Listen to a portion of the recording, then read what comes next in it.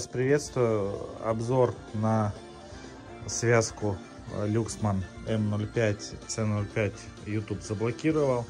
Я ее перезалил на Рутуб и закреплю ссылочку под этим видео, а также ссылку на запись э, рекордера. Вероятно из-за Led Zeppelin, что странно, что я с этой пластинки уже включал композиции и было все в порядке, но видимо как-то выборочно некоторые композиции попадают под авторские права.